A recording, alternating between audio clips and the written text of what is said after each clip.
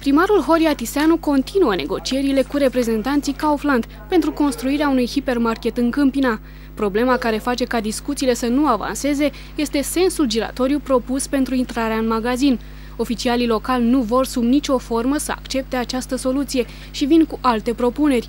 Parcă pentru a îmbuna pe cei care conduc municipiul, investitorii au afirmat la ultima ședință că ar dori să se implice în viața comunității. Pentru început, vor să ajute spitalul municipal. Am avut o discuție cu reprezentanții societății de investiții care promovează interesele uh, lanțului Kaufland. N-am găsit deocamdată o soluție. Noi ne menținem punctul de vedere de a nu realiza acolo un sens giratoriu.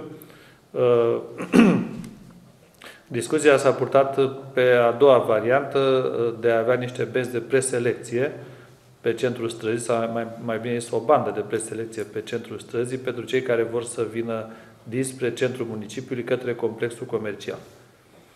Uh, aici, cam ei s-au cantonat discuțiile, noi le-am dat un termen, dumnealor nu doresc, să, nu doresc acest termen, uh, am găsit diferite variante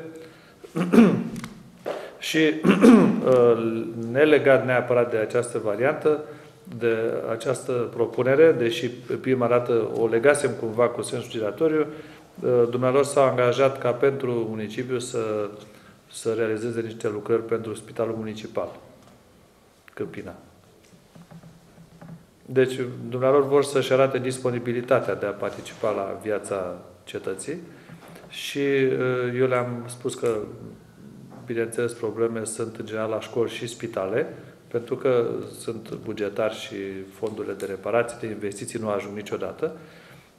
Și uh, de ce s-au oprit la Spitalul Municipal Câmpina.